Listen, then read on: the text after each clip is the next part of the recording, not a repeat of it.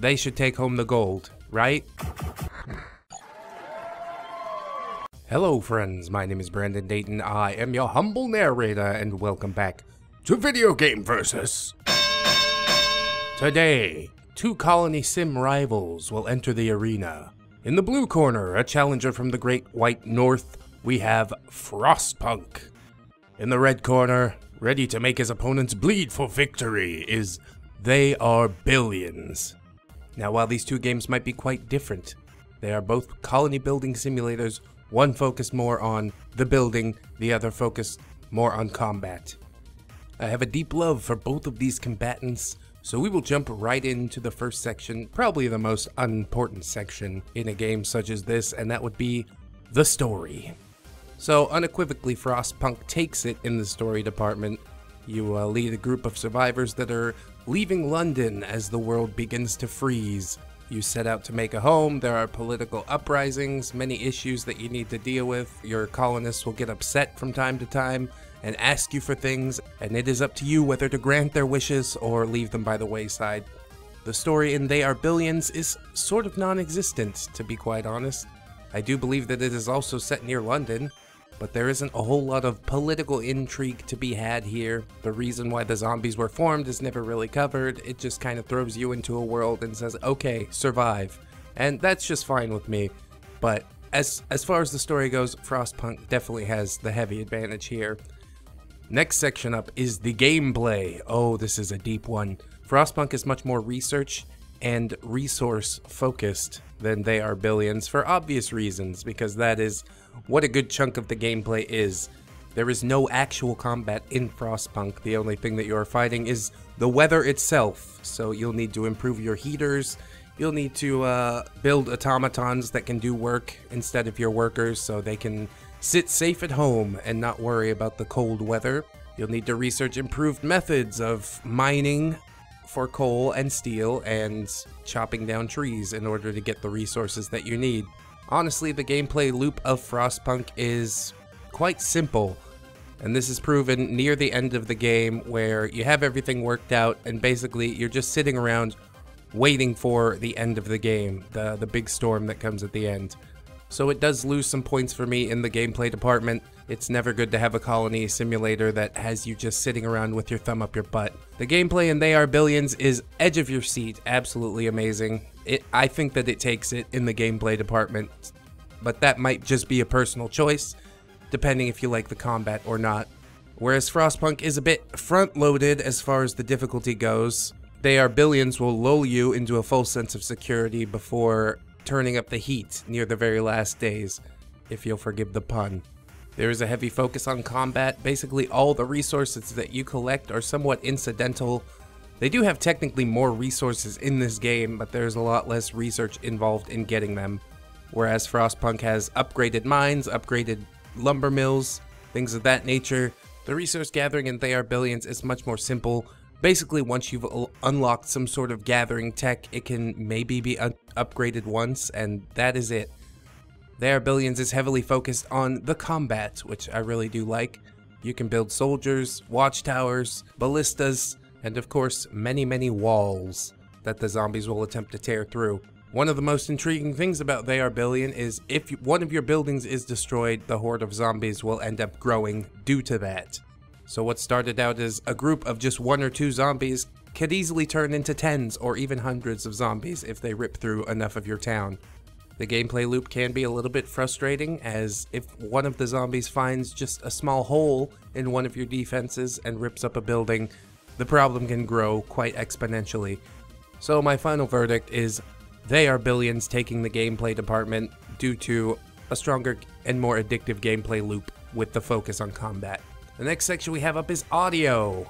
I think again Frostpunk is going to take audio. The sound of the wind is all around you. When cold levels increase or decrease, there is a cracking of ice.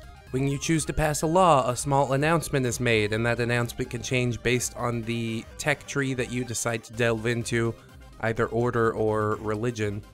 Even when you click on things in Frostpunk, there is a, a, thundering boom that makes you feel like you've really just made an important decision, and that same feeling is not present in They Are Billions. In addition, the music in Frostpunk feels a bit hopeless.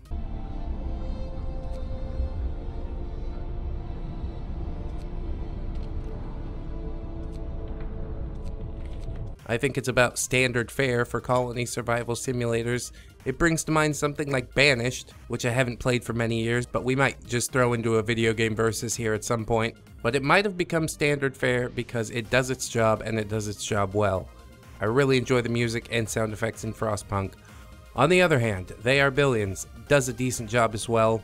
Unfortunately, the gunplay, which was one of the aspects in the gameplay loop that brought They Are Billions to the front for me, doesn't sound as good as it feels. Lovely. Bullseye. I need to kill something. If you pick up some soldiers, your guns will do a little pop pop, and I do mean a little pop pop. In my opinion, the sounds of the gun should be a bit more impactful, although granted that it might be overwhelming when you have 20 guns going at once. In addition to the sound of the guns, the narrator is basically as lifeless as it gets. In a game where you're fighting for your life for survival, I think the narrator should sound a bit more engaged than they're trying to break through. Attention. Building completed. The sounds of the zombies are rather nice, I think. And the sound when you click things and make a selection sounds relatively techy, which fits, but I definitely don't think it's as good as the thundering boom that you get when you make a selection in Frostpunk. It does not feel as impactful. Finally, there is the actual music section of the audio. The music in They Are Billions does not really feel like music to me, necessarily. It sounds like a series of ominous synth pads. Which quite honestly doesn't do the job for me personally. So unequivocally, I'm going to say that Frostpunk is the winner in the audio department. The last round will be the graphics slash performance round. Both of these games perform relatively well. I haven't experienced any slowdown on my aging rig, and I am able to play both of these games at maximum setting. As for the graphics themselves, they're relatively easy to compare because they are going somewhat for the same steampunk style. Frostpunk obviously going for something hyper realistic. They are billions going for something a little bit more cartoony. So I guess it is somewhat personal preference, but I do have to make a call. And in my personal opinion, the winner out of these two games graphically is Frostpunk by a long shot. They Are Billions is a really nice looking game, I must say that. I've spent many, many hours in They Are Billions, and I like it a lot. I don't think I could have spent as much time with it as I did if the graphics were ugly. However, when compared to Frostpunk, they don't quite keep up with the hyper-realistic style, and it doesn't quite lean the other way enough to be completely cartoony. I think some of that probably has to do with the fact that thousands of zombies are going to be displayed on the screen at some point, and they didn't want it to experience slowdown, but I can only take it at face value. This is what I'm looking at, this is what I see. Frostpunk is definitely more realistic and better to look at. Frostpunk also has screen effects. When the ice comes and goes, it builds up a layer of ice in the corner of the screens, the wind is blowing around. In addition, as you scroll out to see the map, Frostpunk seems to give a lot more depth to its graphics than they are billions. So who is the winner in this matchup? I think a lot of people will guess that Frostpunk is the winner. They won three out of four rounds. They should take home the gold, right? I'm not so sure about that. They are billions really smash it up in the second round. The gameplay loop is ultra important when you're looking at a video game, and Frostpunk was not able to hold me as much with that. I am loath to end another video game versus as a tie, like my first one was, so I'm going to drop the hammer and say that They Are Billions is the winner of this video game versus. Now, Frostpunk is a wonderful, wonderful game. I absolutely love both of these games a whole heck of a lot. Technically, Frostpunk does have the superior advantage. It looks prettier, the sound is better, uh, but looks aren't everything, and They Are Billions definitely has it where it counts. At some points during Frostpunk, I was just sitting around waiting for things to happen, fast forwarding through days and days and days at a time. They Are Billions had me doing something consistently, which is super, super important. In Frostpunk, if you get four research stations going within the first little bit of the game, then you've already won. It's basically over, as long as you have all of your research done before the, the big final storm hits.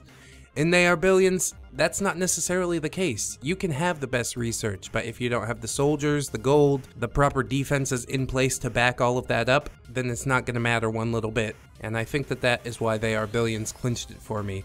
I really love the RTS combat feel of it, and Frostpunk kind of left me hanging when everything finally became automated. I had 15 automatons going, and my my crew was just all sitting at home doing nothing. I even had automatons in the research stations, and they got everything researched because they're working 24 hours a day. So I know what to expect when I'm about to jump into Frostpunk. When I jump into They Are Billions, it's always a bit of a mix-up, and I really, really like that especially with the randomized maps and things like that. So I have to stick by my answer. I couldn't let it end in another tie because it's video game versus, not hey let's let's look at video games that we like. Just because Frostpunk lost against They Are Billions does not mean that I don't like Frostpunk. It's a fucking amazing game. They both are, and that's why I've sat down to take the time to talk about them. Frostpunk might be back again in another video game versus against something else a bit more similar with less combat. If you've got any ideas for matchups that you'd like to see, go ahead and drop them in the comments. If I have the games, I'll be happy to take a look at them for you. I'd also like to know if this sort of round thing works. I'm leaning towards no because gameplay is basically the be all end all. I don't care if a, a, game is the most graphically pleasing thing with the best audio in the entire world. If it's not fun to play, then you're not going to sit down and play it. So if I should rework the different categories a little bit, maybe somebody can help me workshop that a little bit. That would be much appreciated. What would also be appreciated is if you like, comment, subscribe, hit the notification bell. Check out the links in the description to reach out to me on Twitter, Discord, Patreon. I would be very, very grateful for all of those things. Huge, huge shout out to Nico the Legend for supporting us on Patreon. Currently, this has been Video Game Versus Friends. Frostpunk versus They Are Billions. I've been Brandon Dayton, your humble narrator, and I hope to see you in the next one. So until then, friends, bye bye. One, two, three, four. Goodbye, goodbye, see you again. Goodbye, goodbye, see you, my friends.